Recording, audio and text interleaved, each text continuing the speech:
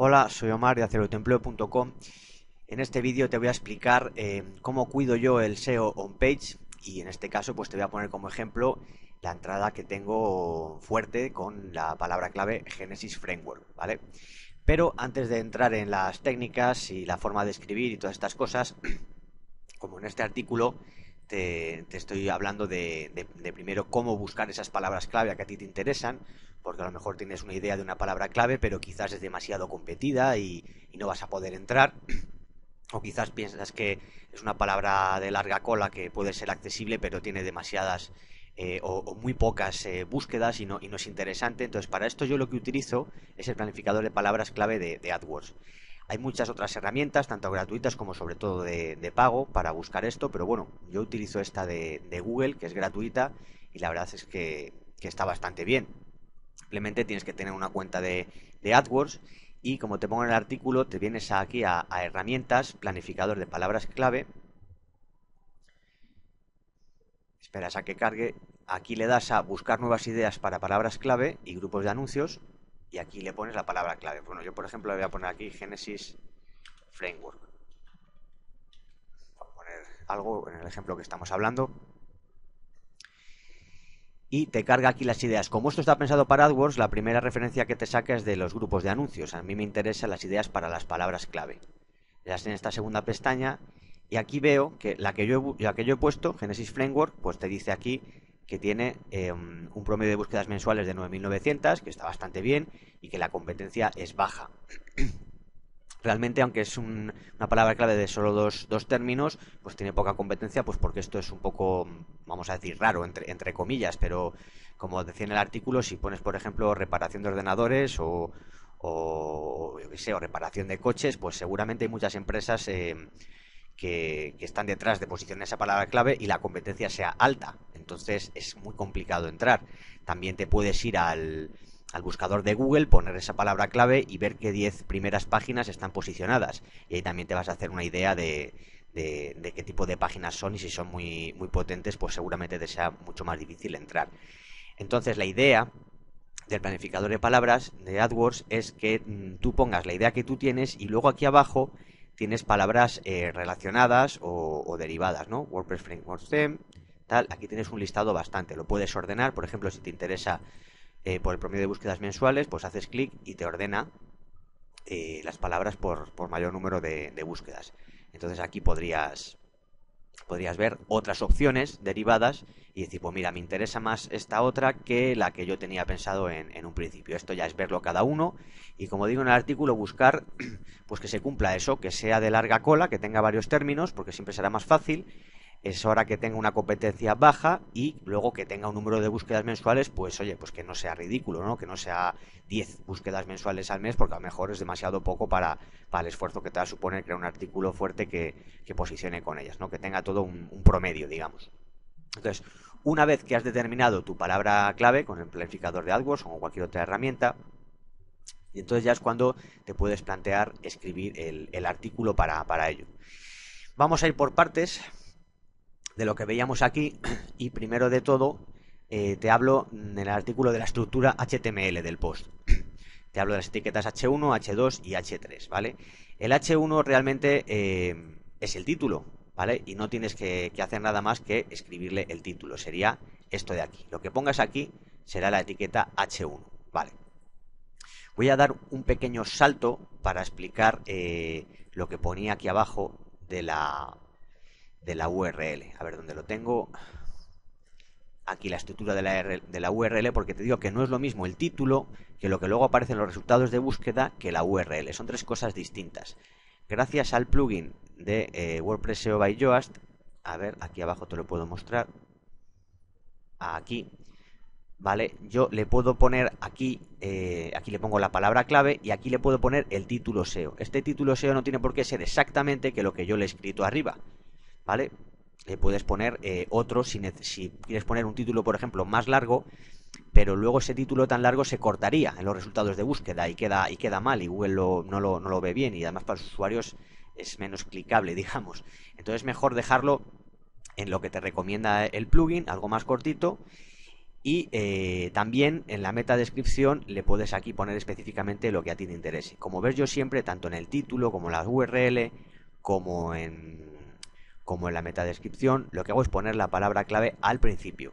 ¿Vale? Esto es importante. ¿Cuánto de importante? Pues hombre, eso nunca lo, sabremos, pero siempre sabiendo que es mejor una cosa que la otra, pues hay que procurar hacerlo. Entonces aquí veo una previsualización de cómo quedará eh, mi resultado, cómo se mostrarán los resultados de búsqueda de Google cuando alguien ponga Genesis Framework y salga, pues saldrá así y me lo reconoce aquí, me lo reconoce en la URL y en la metadescripción me lo reconoce aquí. La URL, como te digo, sería un poco absurdo que fuera eh, tan larga como auxilioempleo.com barra Genesis Framework, la guía definitiva que debes consultar todo separado por guiones, ¿vale? No, es mejor que sean más cortas, no tan largas. En este caso, con que sea solo la palabra clave, me vale. Entonces, esto lo puedo editar aquí. Cuando yo escribo este título, automáticamente se pone todo aquí, todo, todo largo. Bueno, se acorta aquí, pero vamos. Te, lo, te pone todo. Le puedes dar aquí a editar y dejar solo lo que a ti te interese. Siempre en minúsculas, sin tildes ni acentos y separado por, por guiones medios. Vale, esto en cuanto a eso. Mm, retomo lo que te decía. Esto sería la etiqueta H1. Luego, tengo aquí, por ejemplo, esto, que son las etiquetas H2. Yo siempre en, la, en el primer H2 le pongo, le pongo la palabra clave y al principio, eh, preferentemente. Esto simplemente tienes que escribir el, el texto, como escribiría esto, y luego lo seleccionas lo que, lo que vaya a ser tu H2, imagínate que toda esta línea fue un H2, y aquí arriba le cambio de párrafo a título H2, título H3, lo que yo, lo que yo necesite, ¿vale? Esto sería un título H2 y estos serían títulos H3, ¿vale? Lo ves ahí, título H3. Entonces, lo que te comento en el artículo es que es bueno meter las palabras clave no siempre exactas y no siempre ahí a, piñón en todos los H2 y todos los H3, mezclando, ¿ves? Aquí pongo framework, aquí no pongo nada de eso, luego sí, por aquí otra vez framework, aquí otra vez sí Genesis Framework, ¿vale? Voy variando, intento incluirlo, otras veces no, siempre un poco buscando la naturalidad y no forzar el meter siempre ahí machaconamente, ¿vale? Pero luego al margen de la estructura, a la hora de escribir, siempre es bueno ponerlo al principio, o como mínimo en la primera línea, la palabra clave exacta y en negrita, ¿vale? Esto siempre a mí me ha ayudado bastante. Luego, eh, hablando de la densidad, es un poco lo que te, lo que digo en el artículo, ¿no? Que, no te pases.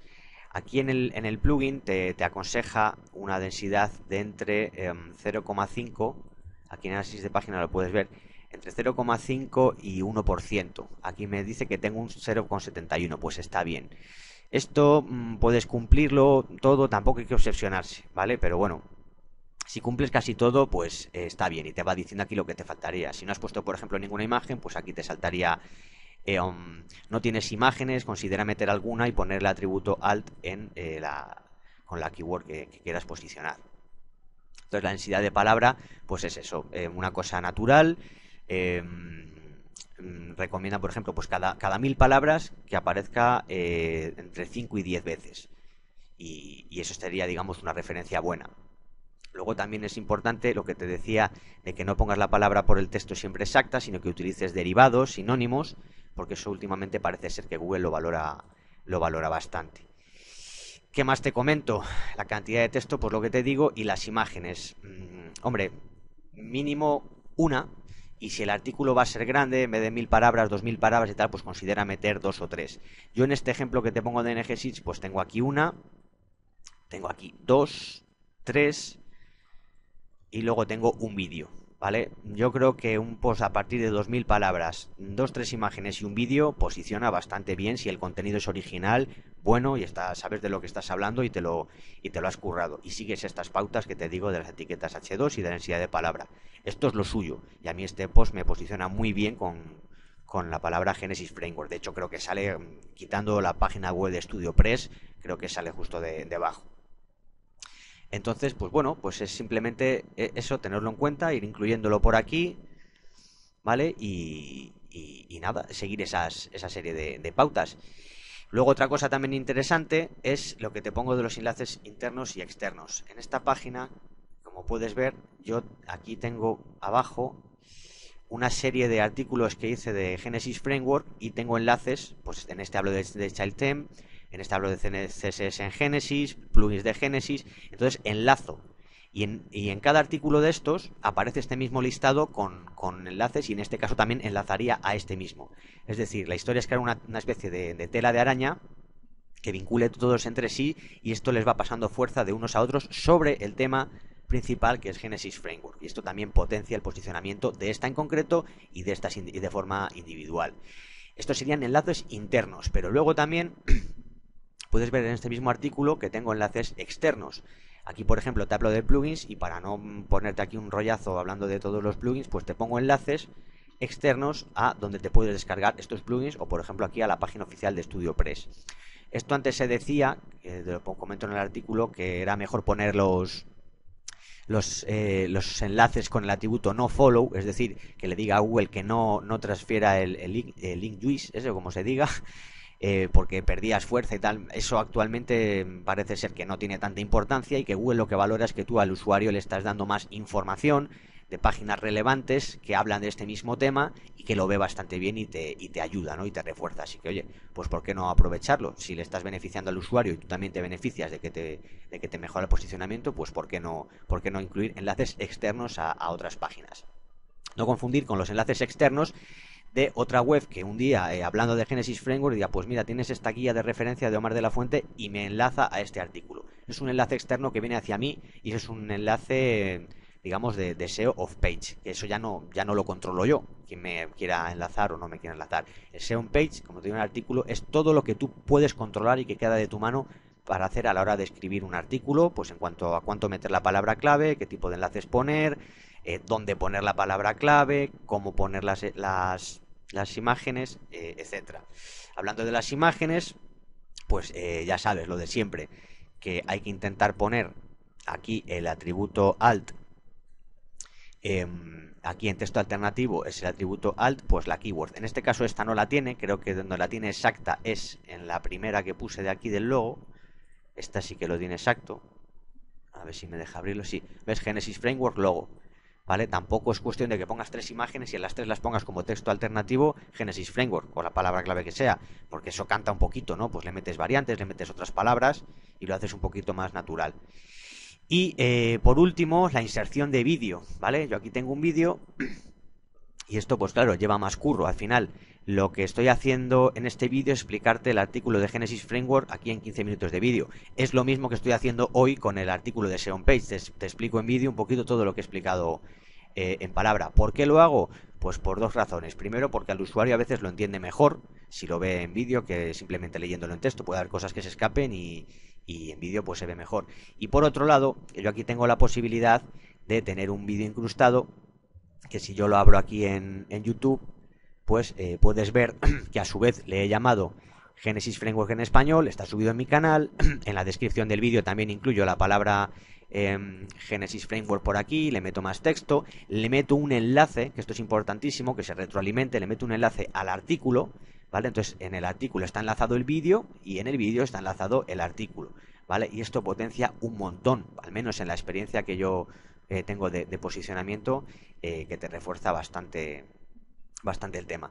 Entonces, pues eh, creo que, poco más. Estas son las cosas que tienes que tener en cuenta a la hora de, de crear un artículo para posicionar bien. Como te digo también, tampoco vas a currarte todos los artículos de 2.000, 3.000 palabras, de un montón de imágenes, ¿no? Como sería este, con vídeos incrustados propios, porque esto lleva muchísimas o muchas horas de, de, curro, pero considero que en los artículos pilares o centrales de tu, de tu blog o de tu página web sí que merece mucho la pena eh, pegarte estas curradas para posicionar las palabras clave que, que a ti te interesen, eh, porque al final son las que te van, con el paso del tiempo, te van a derivar un tráfico recurrente día a día y al final eh, ya no es simplemente porque sea tráfico, sino porque es tráfico cualificado, ¿no? Te, si tú has hecho este análisis y selección previo bien hecho, al final si te encuentran por estas búsquedas será que van a encontrar en tu blog lo que eh, digamos a ti te interesa que ellos que ellos que ellos encuentren, ¿no? Y a su vez ellos también es lo que están buscando. Ahí se, se hace esa eh, correcta comunicación, digamos, ¿no? Esa vinculación eh, buena. Lo que no puede ser es que lleguen a tu web por encontrarte con búsquedas que no tienen mucho que ver con lo que tú pretendes explicar o lo que tú pretendes conseguir, porque esas visitas al final pues van a entrar, van a ver esto un poco, van a leer, pero se van a pirar si no tiene nada que ver con lo que, o sea, tiene que ver con su búsqueda, pero en realidad tu blog luego no les ofrece un servicio, una suscripción interesante sobre ese tema. Así que bueno, nada más, estas serían las pautas para hacer un SEO on page eh, correcto.